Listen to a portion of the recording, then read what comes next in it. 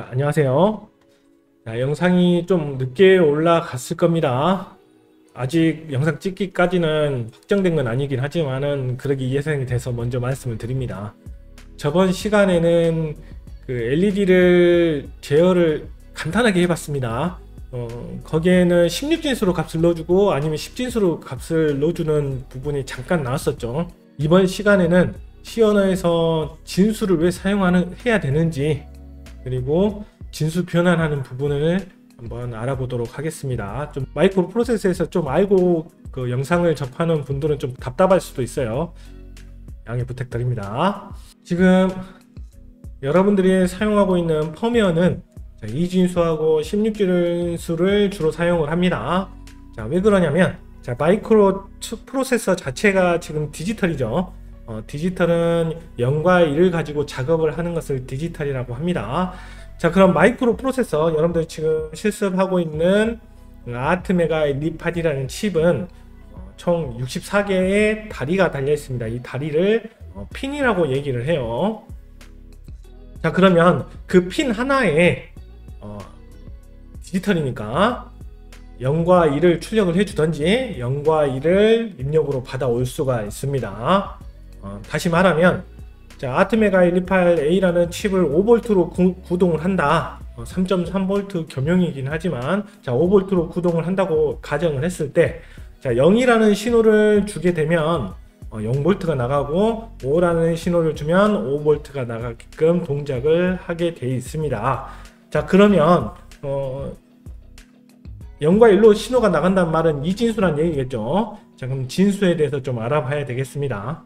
진수에 대해서 알아보기에 앞서서 우리가 자주 사용하고 있는 십진수죠. 자, 십진수에 대해서 알아보도록 하겠습니다. 자, 십진수는 쉽게 말해서 10이 되면은 자릿수가 1, 0으로 바뀌는 것을 어, 십진수라고 합니다. 쉽게 말하면 0, 0, 1, 2, 3, 4, 5, 6, 7, 8, 9 해서 10이 되겠죠. 그 다음 10이 되는 순간에 자릿수가 1의 자릿수에서 자, 두 번째 자릿수로 바뀌죠. 그래서 1, 0으로 이렇게 바뀌는 걸 10진수라고 합니다. 자, 그러면 n진수는 어떻게 표현이 되냐? 말 그대로 n이 되면 자릿수가 1, 0으로 바뀌는 것을 n진수라고 말할 수가 있겠죠. 만약에 n이 3보다 컸을 때 n이라는 값이 0에서부터 1씩 증가를 하면 n이 된 순간에 1, 0으로 바꾸는 걸, 바뀌는 걸 n진수라고 볼 수가 있습니다. 그럼 이 진수를 한번 얘기를 해볼게요. 자, 이 진수는 2가 되면 자릿수가 바뀌는 거겠죠. 자, 그렇기 때문에 자, 0부터 1씩 증가를 하면 0, 1, 그 다음 2가 되니까 자릿수가 바뀌어야 되겠죠. 그래서 두 번째 자릿수로 값이 옮겨가서 1, 0이 됩니다. 그 다음에는 1, 1 그리고 첫 번째 있는 자릿수가 1에서 2로 바뀌기 때문에 다시 자릿수가 바뀌어지겠죠. 근데 두 번째 자릿수도 2가 되기 때문에 이제 세 번째 자릿수 자릿수가 바뀌게 됩니다. 그래서 1, 0, 0, 1, 0, 1 1, 1, 0 111, 1000 이런 식으로 어, 이 진수는 증가를 하게 됩니다. 자, 그러면 16진수도 한번 보도록 할게요. 자, 16진수도 16이 되면 자릿수가 1, 0으로 바뀌는데 자, 그러면 우리가 사용하는 건 10진수기 때문에 16이라는 숫자를 한 자릿수로 표현할 수가 없습니다. 그러면은 그걸 어떻게 하느냐? 일반적으로 0부터 9까지는 우리가 10진수를 사용하듯이 사용을 하고 그 다음 10부터 15까지를 한 자릿수로 표현을 해야 되겠죠. 자, 그 부분을 알파벳 A부터 F로 표현을 합니다. 그래서 15가 F가 되겠죠. 그래서 16이 되는 순간 1, 0이라는 자릿수가 변하게 되는 게 16진수입니다. 자, 그럼 어, 10진수, 2진수, 16진수에 대해서 좀 더 알아보도록 할게요. 지금 화면에 10진수 128, 그리고 2진수 1010, 그리고 16진수 1A라는 숫자가 있습니다. 자, 이 숫자를 자, 그냥 숫자로 표현을 하면은 어떤 게 2진수가 어떤 게 16진수인지 모르겠죠. 그래서 음, 10진수는 우리가 일반적으로 사용을 하기 때문에 그냥 쭉그 숫자 쓰듯이 사용하면 되고 자, 이진수는 자 끝에 가, 가로 안에 이진수라고 첨자로 이렇게 추가를 시키면 됩니다. 그리고 16진수면 이제 뒤에 가로에서 16진수로 표기를 해줘야 되겠죠. 진수가 10진수가 아닌 경우에만 그렇게 표현을 해줍니다. 그럼 자, 이 10진수, 2진수, 16진수를 자릿수별로 한번 표현을 해보도록 할게요. 10진수 128 같은 경우는 100의 자릿수 1을 10의 2승으로 표현할 수가 있습니다. 자, 그리고 20은 자, 2 곱하기 10의 1승으로 표현할 수가 있겠죠. 3은 10의 0승으로 해서 10의 0승은 1이니까 이렇게 표현이 가능합니다. 자, 그러면 이진수하고 16진수를 한번 보도록 할게요. 어, 자세히 보면 자 10진수이기 때문에 그 10의 2승, 10의 1승, 10의 0승을 했던 부분이 자 이진수면은 2의 2승, 2의, 2의 1승, 2의 0승이 되겠고 16진수면 16의 2승, 16의 1승, 16의 0승 이런 식으로 어, 표현이 되겠죠. 자, 왜 그러냐면 한 자릿수에 표현할 수 있는 가지수가 그 진수의 크기만큼이기 때문에 그 진수의 승수값으로 표현이 됩니다. 자, 그럼 이걸 정리를 하면 자, n진수였을 때는 어떻게 돼요? n의 승수값으로 표현을, 표현을 할 수가 있겠죠. 자, 그리고 이렇게 표현된 값을 우리가 알고 있는 10진수 연산이죠. 우리가 일반적으로 연산할 때 10진수로 계산을 하죠. 10진수를 주로, 주로, 사용하기 때문에 자 이렇게 나온 값을 우리가 알고 있는 10진수의 값으로 연산을 해주게 되면은 자 2진수, 16진수, n진수의 값을 10진수로 변화를 할 수가 있습니다. 자 그럼 반대로 자, 10진수의 값을 2진수나 16진수로 한번 바꿔보도록 하겠습니다. 25라는 10진수를 2진수로 일단 바꾸겠습니다. 자, 2진수는 0과 2를 한 자릿수에 표현을 하죠. 그렇기 때문에 그 25라는 숫자를 10진수를 2로 더 이상 나눌 수 없을 때까지 나눠줍니다. 자, 그러면 마지막에 나오는 몫이 있겠죠. 자, 2진수 같은 경우는 몫이 반드시 1이 나올 수밖에 없겠죠. 0과 1, 만 표현을 하기 때문에.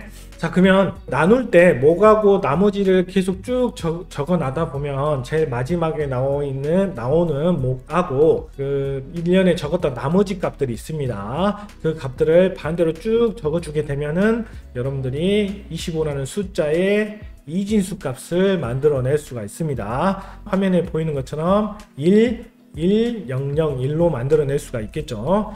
그럼 자 25라는 10진수의 숫자를 자 16진수로 만드는 방법도 마찬가지예요. 자 25라는 숫자를 16으로 더 이상 나눌 수 없을 때까지 나눠줍니다. 쉽게 자 1, 1하고 나머지 9가 나오죠. 자, 그걸 반대로 적어주면은 1, 9라는 16진수의 숫자가 나옵니다. 자, 우연하게 2진수하고 16진수로 바뀔 때 몫이 다 1로 나왔네요. 반드시 1로 나오진 않습니다. 자, 그러면 이걸 정리를 해서 자, 10진수의 숫자를 n진수로 바꿀 때는 어떻게 바꿔야 되냐? 자, 10진수의 숫자를 n, n이라는 값으로 더 이상 나눌 수 없을 때까지 쭉 나눠줍니다. 나눠주면서 당연히 나머지 값을 적어줘야 되겠죠. 그리고 더 이상 나, 나눌 수 없는 그 몫을 값을 나머지 값으로 반대로 쭉 적어주게 되면 그 엔진수의 값을 구할 수가 있습니다. 자 여기까지가 일반적으로 학교에서 배우는 n진수를 10진수로 바꾼다든지 진수를 n진수로 바꾸는 일반적인 교육과 내용입니다. 자 그러면 쉽게 바꾸는 방법도 알아야 되겠죠. 자 그럼 여러분들이 시, 실제로 실습할 때는 쉽게 바꾸는 방법을 알고 있으면 좋습니다. 그 방법을 말씀을 드리자면 일단 마이크로 프로세서는 데이터를 1바이트 단위로 변환을 주로 많이 합니다. 뭐 더 16비트 단위로 하긴 하는데 대부분 1바이트 단위를 2진수, 16진수 변환을 한다고 보시면 돼요. 자, 그러면 1바이트는 뭐냐? 1바이트는 8비트라고 합니다. 비트는 뭐냐? 비트는 0과 1을 표현하는 최소 단위를 비트라고 해요. 자, 그러면 1바이트가 8비트이기 때문에 0과 1을 표현하는 게 8개가 있다는 뜻이 되겠죠. 자, 그 말은 자, 이진수 8자릿수를 표현할 수가 있다는 얘기입니다. 1바이트는. 자, 그럼 여러분들은 1바이트만 가지고 변환을 해주시면 됩니다. 8개의 자릿수를 10진수에서 2진수나 2진수를 2진수에서 10진수로 쉽게 바꾸는 방법은 2의 승수값으로 8개를 적어주면 됩니다. 자, 화면에 보이는 것처럼 1, 2, 4, 8, 16, 32, 64, 128 위까지가 8개의 어, 이진수 자릿수가 되겠죠. 자, 그 값을 쭉 적어주시고, 우리가 예로 들었던 25라는 숫자를 이 승수값으로 만들었던 이 8개의 숫자로 만들어 주시면 됩니다. 자, 25를 밑에 있는 8개에 있는 숫자로 만들어 내려면 어떻게 되죠? 일단 16이 필요하겠죠.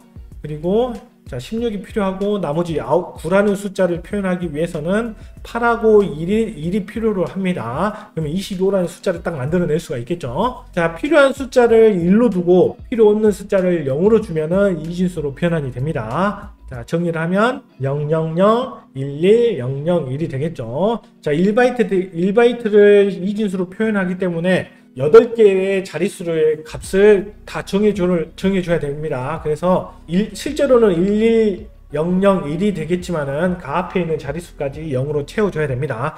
어, 디지털은 0과 1을 분명하게 정, 정해줘야 돼요. 자, 10진수를 2진수로 변환하는 방법, 방법을 자, 거꾸로 하면은 2진수를 16진수로 바, 바꿀 수가 있겠죠. 자, 110, 11001이라는 2진수 숫자 위에다가 1, 2, 4, 8, 16, 32로 쭉 적어주고 1이 걸쳐 있는 부분의 값들을 서로 더해주면 25라는 숫자를 만들어낼 수가 있겠죠. 이 진수를 16진수로 바꾸는 방법도 한번 알아보도록 할게요. 자, 이 진수를 16진수로 바꾸는 방법은 4개씩 끊어주면 됩니다. 이 진수의 숫자를 4개씩 분할을 해줘서 끊어주면 되는데 8비트이기 때문에 4개씩 끊어주면 두, 두 개로 나눠지겠죠. 그래서 16진수로 바꾸게 되면 두 자릿수로 값을 표현할 수가 있게 됩니다. 자, 왜 그러냐? 자, 16진수는 뭐였죠? 1에서 15까지 한 자릿수를 표현을 했었죠. 이 진수 4자리 1111은 진수로 표현하면 15입니다. 이 진수 4자리가 16진수 한 자릿수를 표현할 수 있기 때문에 그래서 4개씩 끊어주는 겁니다. 그러니까 25, 11, 00, 1을 4개씩 끊어줍니다. 그리고 그 위에 이 승수값 1248, 1248 이렇게 쭉 적어주시면 돼요. 그리고 1이 걸친 부분들을 따로 더해서 쭉 내려주시면 자 4개씩 끊어졌기 때문에 한쪽은 1이 나오고 다른 반대쪽은 9가 나오겠죠. 반대로 16진수의 값을 2진수로 변하는 것도 거꾸로 해주시면 돼요. 자 어떻게 해주면 되죠? 각 자릿수의 값에다가 1248 1248 이렇게 써주고 9라는 숫자를 1248로 만들려면은 8하고 1이 필요하겠죠? 거기 해당하는 부분을 1로 만들어주고 나머지 0으로 채워주면 됩니다. 자 1이라는 것도 1248로 해가지고 표현을 하려면은 1에 어, 해당하는 부분을 1로 만들어줘야 되겠죠. 44라는 숫자를 예를 들어서 한 번 더 해보도록 할게요. 자 44라는 10진수를 2진수로 바꾸는 방법은 어떻게 한다고요? 이 승수값으로 8, 8번을 적어주면 됩니다. 1, 2, 4, 8, 16, 32, 64, 128로 적어주고 자 44를 밑에 있는 숫자로 나열했던 숫자로 만들어 주시면 돼요. 30이랑 8하고 4가 필요하겠죠? 자 필요한 숫자에다가 2를 만들어 주면 됩니다 그래서 00, 10, 11, 00이 됩니다 자 그러면 이 진수를 16진수로 바꾸는 것도 네 자릿수끼리 쭉 끊어져서 1, 2, 4, 8, 1, 2, 4, 8에서 1이 걸쳐 1, 1이 있는 부분들을 다 더해 주시면 됩니다 그래서 이 C가 되겠죠. 반대로 16진수를 2진수, 2진수를 16진수로 바꾸는 것도 거꾸로 이렇게 하시면 돼요. 자, 이제 다 왔습니다. 자, 그러면 여러분들이 사용하는 펌웨어, 즉 시언어죠. 자, 시언어에서 진수를 어떻게 사용하느냐. 자, 일반적으로 여러분들이 시언어를 사용을 할 때 값을 넣어줄 때는 10진수로 값을 대부분 넣어주기 때문에 그냥 숫자를 써주면은 10진수의 값이 들어간다고 보시면 됩니다.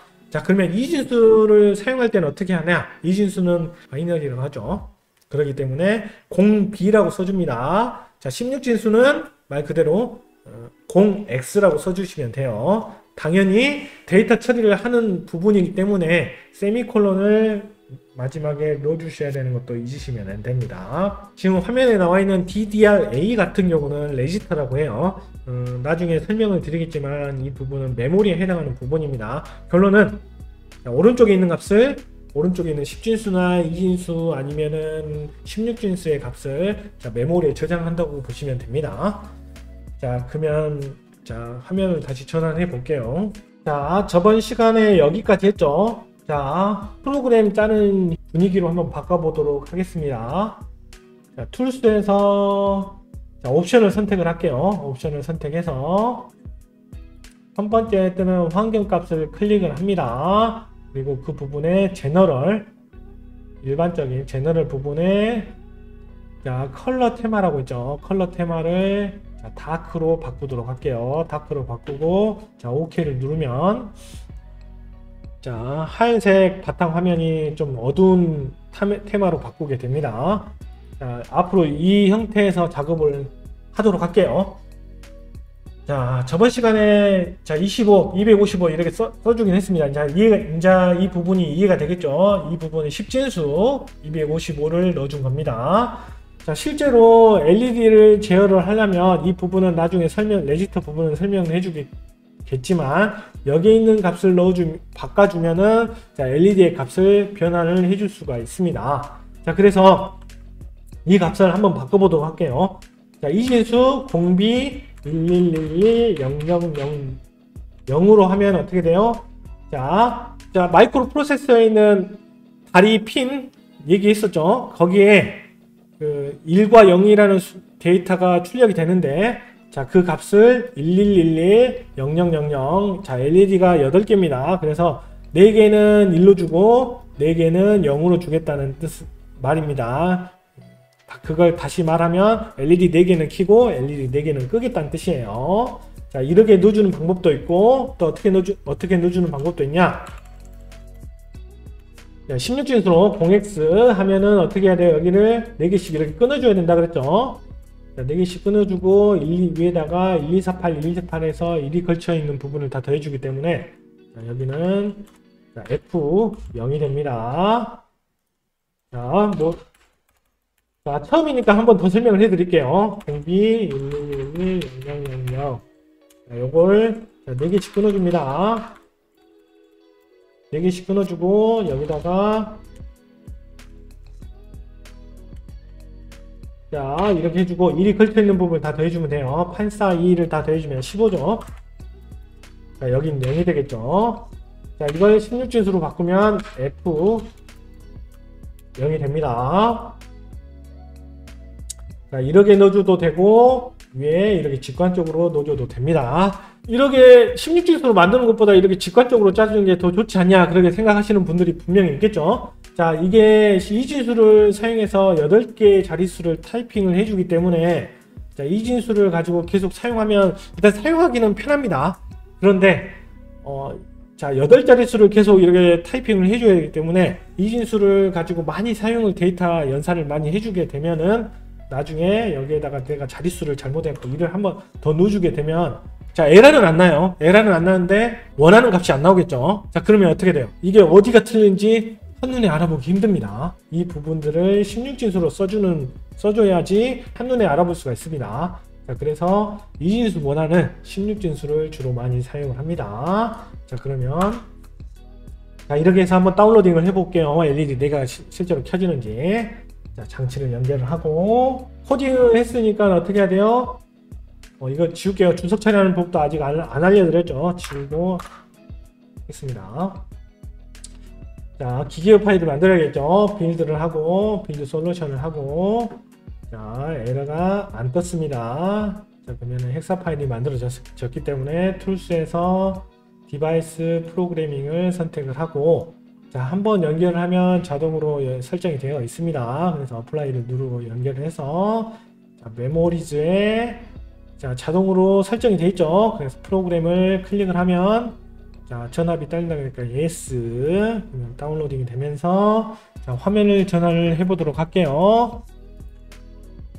자 이렇게 화면을 전환을 하, 자 이렇게 보면 여기 자세히 보면 여기 LED 4개만 켜지고 LED 나머지 LED 4개는 꺼진 것을 확인해 볼 수 있습니다. 그 시어너를 좀 공부를 하셨거나 마이크로 프로세스를 조금이라도 아시는 분들은 이번 시간이 좀 답답했을 수도 있습니다. 양해 부탁드리고 다음 부분도 진행을 쭉 계속 해보도록 할게요. 자 이번 시간은 여기까지 하도록 하겠습니다. 고생하셨습니다.